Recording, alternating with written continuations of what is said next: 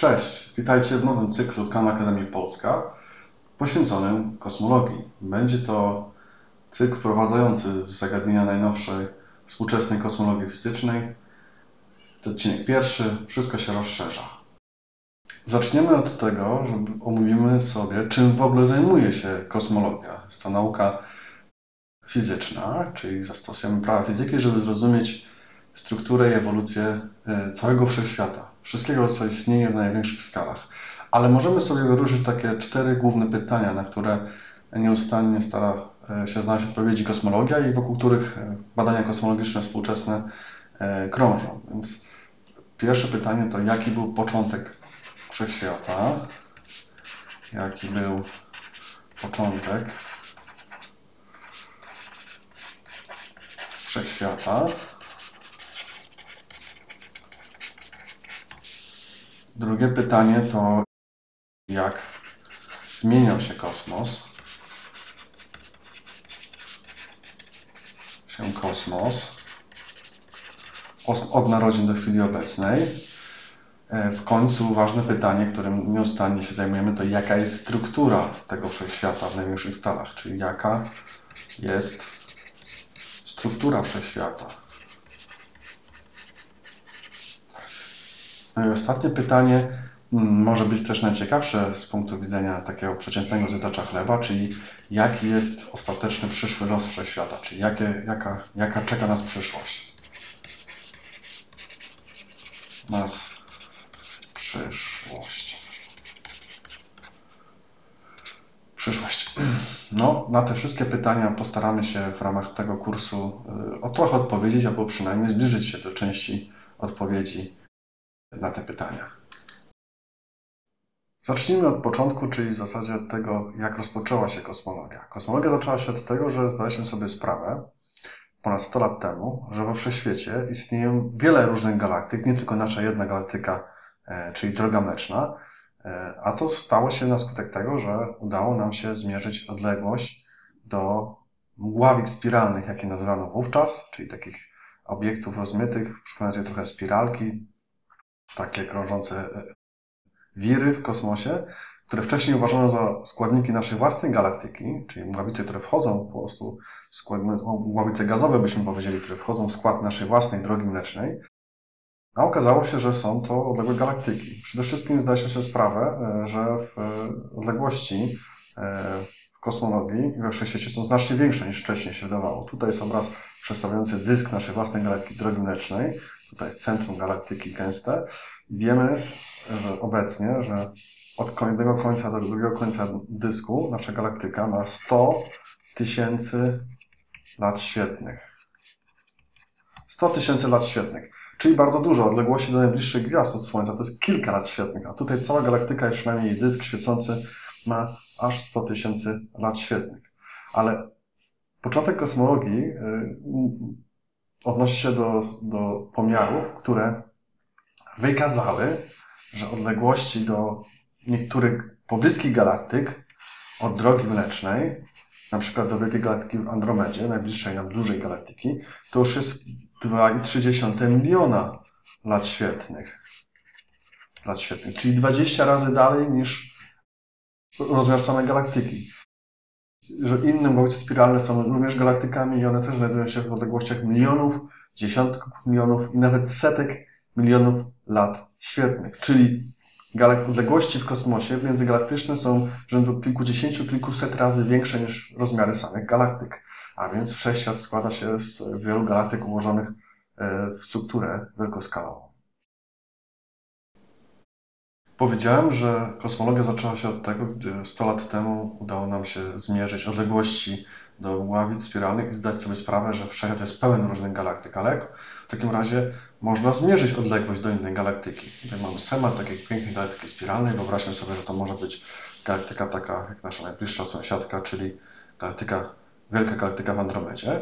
Żeby móc w ogóle myśleć o pomierzeniu odległości do innej galaktyki, trzeba dysponować na tyle potężnym teleskopem, że uda nam się w świetle obrazie galaktyki, jakiejś tam konkretnej, wyróżnić jakieś poszczególne gwiazdy. Na przykład takie jak tutaj, jasne gwiazdy. E, pojedyncze gwiazdy, czyli musimy być, mieć możliwość dostrzec pojedyncze gwiazdy wchodzące w skład jakiejś galaktyki.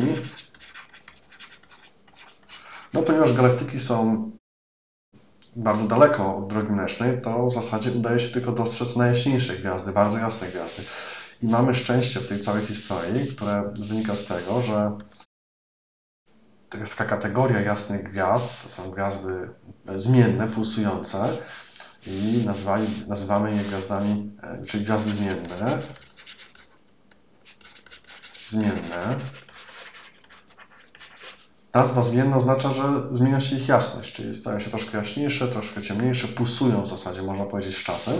I te gwiazdy, które odegrały kluczową rolę w tej historii, to nazywały się cefeidami. Cefeidy.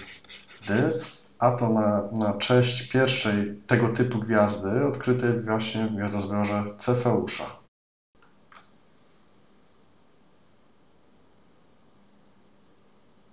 Mamy więc nasze cefeidy.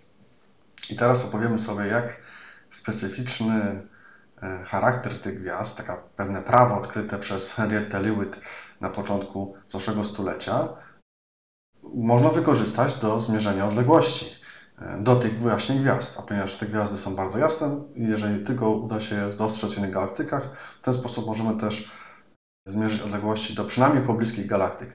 Cefeidy to są bardzo duże gwiazdy, bardzo jasne gwiazdy pulsujące i one bardzo charakterystycznie zmieniają swoją jasność w, zależności od czasu. Tutaj mamy taki wykres przedstawiający na osi pionowej jasność gwiazdy, a tutaj mamy czas na osi y, poziomej.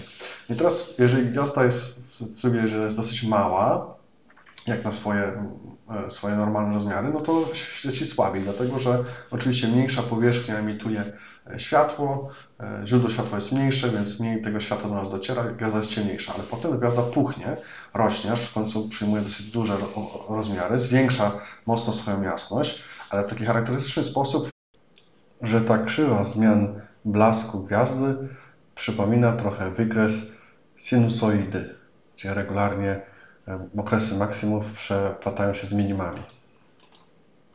No i w jakimś czasie wszystko się powtarza i gwiazda pulsuje, e, zmieniając swoją jasność w regularny sposób. I teraz okazuje się, że mm, to założyła właśnie e, astronomka Henrietta Leavitt, że jeżeli dostatecznie dużo e, Cepheid zmierzymy, no to okaże się, że i na, tej, na jednej osi umieścimy jasność gwiazdy, czyli tutaj będzie jasność Cefeidy, a tutaj okres, okres pulsacji czyli od maksimum do maksimum albo od minimum do minimum. Ponieważ maksima jest łatwiej, jak widać w tym przypadku, zidentyfikować, zazwyczaj mierzymy od maksimum do maksimum. No to się okaże, że jak pomierzymy różne cefeidy w naszej galaktyce i w obłokach Magellana, no to jest pewna relacja, dosyć, dosyć silna relacja.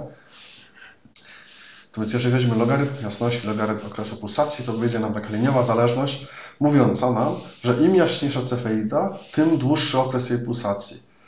No proszę bardzo, czyli okazuje się, że teraz wystarczy zmierzyć okres pulsacji cefeidy jakieś, by się dowiedzieć, jak jasna jest ta cefeida, jak powinna być jasna.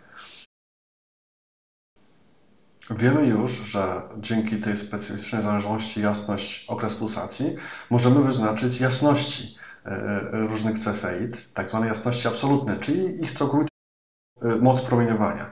Ale jak z takiej tą wiedzę przekuć na miarę odległości.